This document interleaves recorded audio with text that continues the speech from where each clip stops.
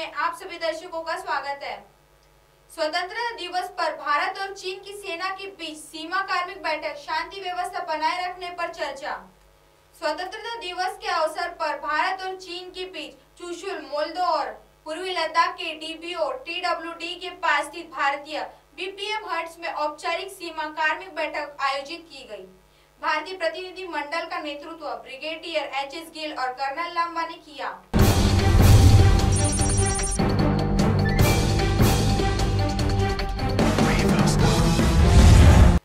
में जेल प्रबंधन की अव्यवस्थाओं के चलते बहने भाइयों को नहीं बाँध पाई राखी। रक्षाबंधन के त्योहार पर बहने अपने कैदी भाइयों से मिलने और उनकी कलाइयों पर राखी बांधने के लिए जेल पहुँची थी। लेकिन जेल प्रबंधन की अव्यवस्थाओं के चलते बहनों को अपने भाइयों से बिना मिले ही वापस लौटना पड़ा। हालाँकि कुछ महिलाओं को अपने भाइयों की कलाई पर राखी बांधने में कामयाबी मिली, लेकिन ज़्यादातर महिलाएँ जेल प्रशासन की व्यवस्थाओं से खासी नाराज़ दिखी।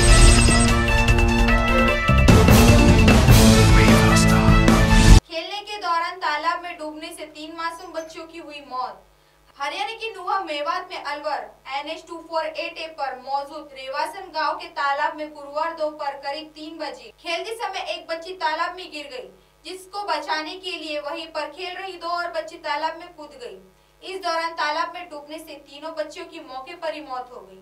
एमएनएस न्यूज़ लाइव की खबरें देखने के लिए आज ही प्ले स्टोर से एमएनएस हिंदी ऐप डाउनलोड कीजिए और इस चैनल को सब्सक्राइब कीजिए। धन्यवाद।